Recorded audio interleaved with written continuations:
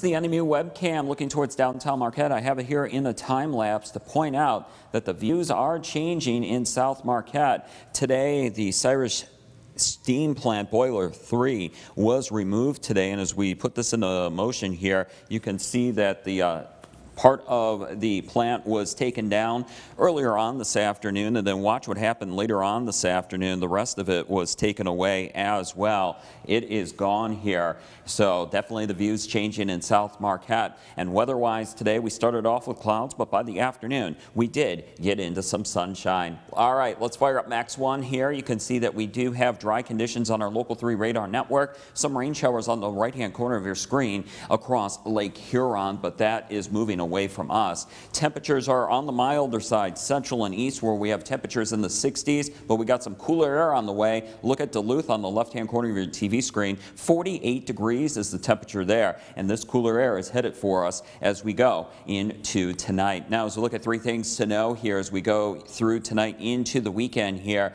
we got a cool down on the way, and it's going to feel fall-like, and we also have some rain chances on the way as well for tomorrow. And then it's the lake effect variety kind. Not snow yet, but it's lake effect rain Friday night on into the daytime on Saturday. Today's high temperatures across the UP, coolest west with highs around 60 out west, where we had temperatures in the mid to upper 60s central and east. Officially at the Weather Service today, we had a high temperature of 66 and a low this morning of 58, still above average, and in fact in the low temperature department, well above average for this time of year. As we look at weather in motion here, watch the lower peninsula here for tomorrow. Point point that out here in just a second. But as we go through tonight, notice some rain showers out in western Lake Superior. Some of those rain showers may clip the Keweenaw Peninsula, but all in all, most of us do stay dry with even mostly clear skies. I mentioned lower Michigan will have an area of low pressure lifting up from Detroit into Lake Huron. We'll get more in the way of clouds and maybe some rain showers from that, but for the most part, the bulk of the rain stays south of